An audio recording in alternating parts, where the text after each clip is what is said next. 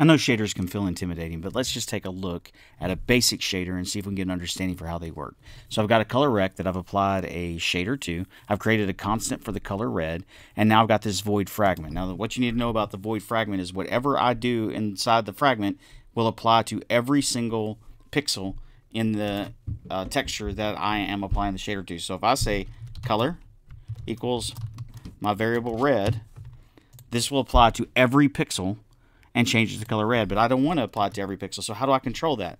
Well, I can say if UV, which UV comes from the texture I'm applying it to, X is greater than 0.5, only the left side is colored red now. Why is that? Because uh, the UV, the X here is 0, the X here is 1, so 0.5 is straight down the middle. Same applies for Y. If I change this to UVY, UVY0 is here, UVY1 is here, and so 0.5 is here, and so we split uh, the top and the bottom. I can reverse my conditional to reverse which pixels are getting overwritten. And I can even compare UVX to UVY, and I get a diagonal line.